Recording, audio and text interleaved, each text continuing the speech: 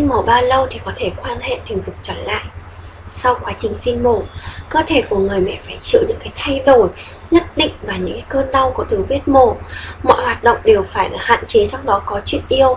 Vậy thì sinh mổ bao lâu thì có thể quan hệ trở lại được? Một trong những cái vấn đề chị em quan tâm và băn khoăn nhiều nhất sau khi sinh em bé chính là cái thời gian cấm bao lâu đủ để tiếp tục cái chuyện chăn gối tùy thuộc vào cái việc sinh thường hay là sinh mổ. Quãng thời gian được cách uh, được cái các bác sĩ chúng tôi khuyên các bạn nên là tránh quan hệ vợ chồng uh, cũng khác nhau. Với cái trường hợp mà mẹ bầu sinh thường ấy thì cái việc dùng lớn tác động nhiều đến cổ tử cung và cái vết rạch ở tấm xương môn là một trong cái trở ngại lớn nhất đối với những mẹ khi muốn quan hệ trở lại theo các bác sĩ thì cái khoảng thời gian thông thường thì cơ thể phục hồi có thể yêu là từ 4 cho đến 6 tuần sau khi sinh. Thực tế nhưng mà tùy thuộc vào cái cơ địa của từng người bởi là cái quãng thời gian này ấy, có thể kéo dài hoặc là ngắn hơn. Và chỉ cần các chị em cảm thấy là cơ thể đã thực sự ổn và có thể tiếp nhận được quan hệ thì mọi người hoàn toàn có thể quan hệ tình dục trở lại miễn rằng là vợ chồng biết tiết chế và cách à, để ý cái cảm nhận của nhau. Nhiều người cho rằng là sinh mổ không đau và phục hồi nhanh hơn so với sinh thường, nhưng thực tế không phải vậy. Sau khi sinh mổ, em bé được đưa ra từ vùng từ vùng bụng của mẹ, nên cái việc là tử cung phải à, chịu áp lực không nghiêm trọng như là sinh thường. Tuy nhiên nhiều vấn đề chính khiến là cơ thể mẹ suy yếu là do vết mổ. Cái thời gian để lại vết mổ liền lại, lên da no, lên da non ấy, và lành sẹo trung bình từ 6 tuần trở lên. Nhưng liệu có phải 6 tuần là một quãng thời gian đủ để có thể quan hệ tình dục trở lại sau khi sinh mổ?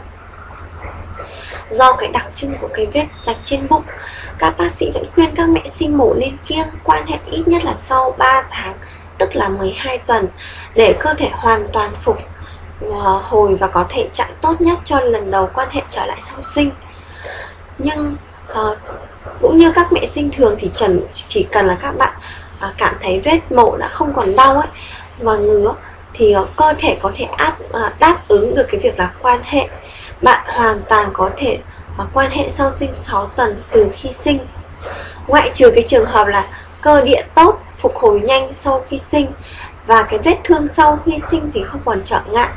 Các chị em tuyệt đối không nên vì ham muốn nhất thời của bản thân hay là vì chiều chồng mà coi các cái dấu hiệu của cơ thể.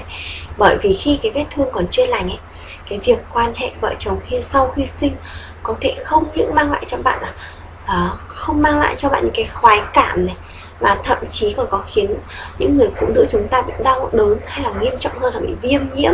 Mắc phải các bệnh phụ khoa như là bệnh tình dục này triệu chứng hậu sản này. Việc này nó có thể trở thành bóng ma tâm lý và gây cản trở cho cả hai vợ chồng trong những lần quan hệ sau.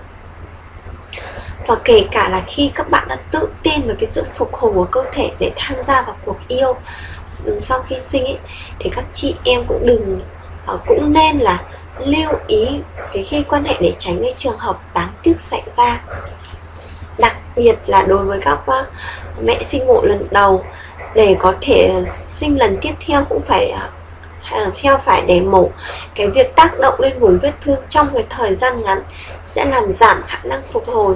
Tương đương với việc là các bạn sẽ mất nhiều thời gian hơn để cơ thể khỏe lại với câu hỏi là sau khi sinh mổ bao lâu thì có thể quan hệ trở lại?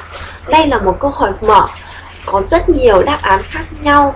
Một trong những cái đáp án đó có thể là à, để à, được đưa ra bởi chính cơ thể của bạn. Vậy cho nên là các bạn hãy chăm sóc cơ thể của chúng mình thật tốt sau khi sinh con, cho đến khi là cảm thấy là chính bản thân mình là hoàn toàn có thể đáp ứng được nhu cầu chuyện uh, cái chuyện là vợ chồng.